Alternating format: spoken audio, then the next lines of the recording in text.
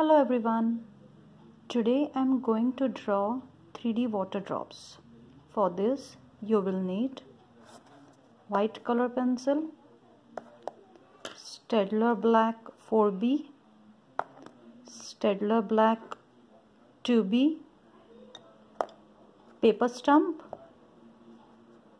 Sakura Gelly Roll,